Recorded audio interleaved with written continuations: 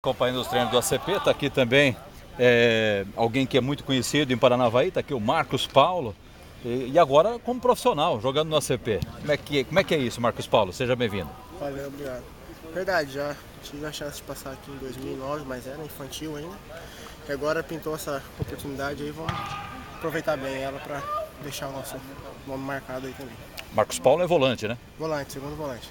Qual é a característica do Marcos Paulo para relembrar um pouquinho aí? Se mudou alguma coisa lá de, da, do infantil para cá?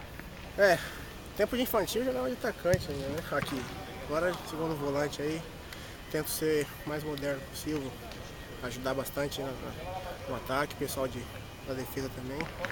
Dentro de campo a gente costuma sempre é, ver a, as condições que o treinador passa pra gente e, e ajudar da melhor, da melhor maneira. E experiência de time grande, né, Marcos Paulo? É verdade, tive dois anos lá, foi dois bons anos lá e. No Palmeiras, né? Isso, isso, isso ajuda um pouco. Aí depois acabou indo pro Nordeste, né? Foi, foi. Passei pelo CRB, fui pro Guarani de Sobral lá em Ceará.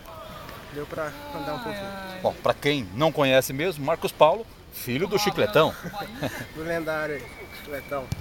Quer dizer, a, a, tem a mesma raça do pai? Como é que é? Sim, sim, isso aí desde sempre. Sempre ele cobrou essas raça dentro de campo, tem que sempre se doar. Isso é uma coisa que ele passou e procuro sempre fazer isso dentro de campo.